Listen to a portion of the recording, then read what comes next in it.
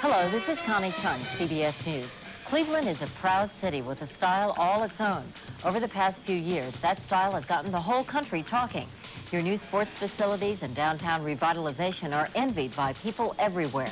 And Channel 19, your new home of CBS, has put together a team of trusted professionals to bring you Cleveland's news in the style you're accustomed to.